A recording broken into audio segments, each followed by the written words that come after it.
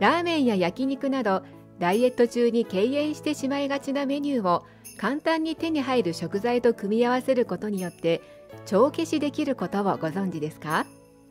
これはカロリーが高めの食事を摂りすぎてしまったということを食べ合わせの工夫によってリセットできるというものです。今回は食べ合わせについてダイエット中に避けたい食事を帳消しにできるおすすめの組み合わせ食材を3つご紹介します。1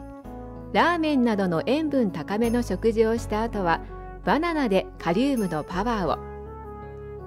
ラーメンを食べた後にはバナナがおすすめです。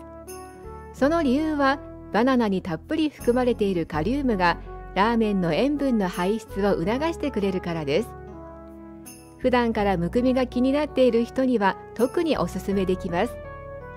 またバナナはビタミン豊富なので糖質や脂肪の代謝を促進し老廃物の排出を助けてくれる効果も期待できます。食べ合わせの量の目安はラーメン1杯につきバナナ1本。ラーメンに限らず塩分の摂りすぎが日頃から気になっている人はカリウムを意識的に取り入れてみてください。カリウムはキウイや豆乳アボカドなどにも豊富に含まれています。2パスタなど糖質たっぷりの食事にはリンゴを。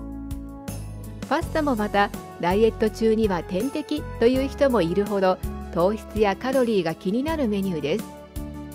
他の麺類と比較しても麺そのものの糖質が高く血糖値を急上昇させてしまう食材の一つです。糖質を体脂肪に変えるインスリンが発生するためこれが太る原因になるとされています。そこで期待したいのがリンゴに含まれるオスモチンという成分。オスモチンには糖質や脂質の代謝を高めてくれる働きがあります。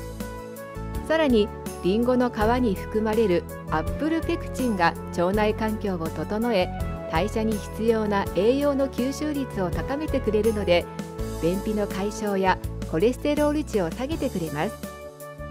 血糖値の急上昇を防ぐ効果も期待できるのだそうです。摂取の目安はパスタ皿に対してリンゴ2分の1個ほど。リンゴジュースならコップ1杯程度です。3焼肉の後のブラックコーヒー。こちらはすでに無意識に習慣化している人もいるのではないでしょうか。実は食後のコーヒーもまた帳消しにぴったりな飲み物なんです。中でも焼肉の脂身に含まれる飽和脂肪酸を摂りすぎてしまった時の強い味方です。コーヒーに含まれるメラノイソジンという成分が摂りすぎた脂肪を吸着して体外に排出してくれるのだそうです。おすすめの摂取量は食後の1杯。飲みすぎるとカフェインの摂りすぎになってしまいますが物足りない人は毎食後の1杯程度1日3杯程度を目安にしてみてください。ここでちょっと注意が必要なのはコーヒーはあくまでブラックであることです。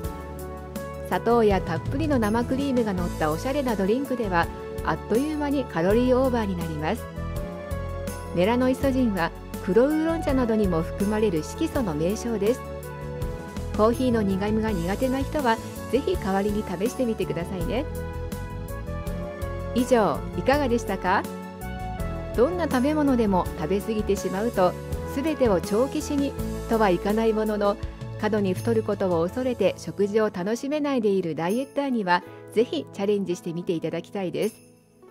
普段からバランスのいい食事を心がけ時には思う存分食べたいものを食べてメリハリをつけることでストレスなくダイエットを楽しめるはずです。なかなかダイエットが続かない方もまずここから始めてみてはいかがでしょうか。